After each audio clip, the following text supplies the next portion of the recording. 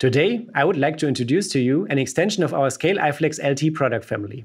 Scale iFlex LT NTC is a dual channel IGBT and SiC MOSFET gate driver with an isolated temperature readout. It is specifically matched for LV100, XHP2, and equivalent form factor power modules. This product has been tailored for renewable energy applications such as wind converters, photovoltaics converters, and energy storage systems.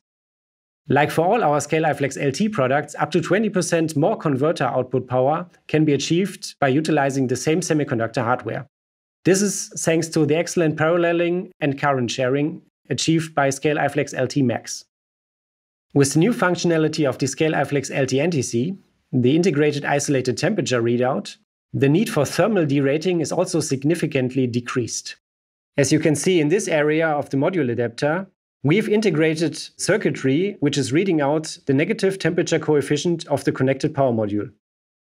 The temperature signal is conditioned and provided over the bus system and can be received as a PWM signal on the primary side interface of the connected integrated master control unit.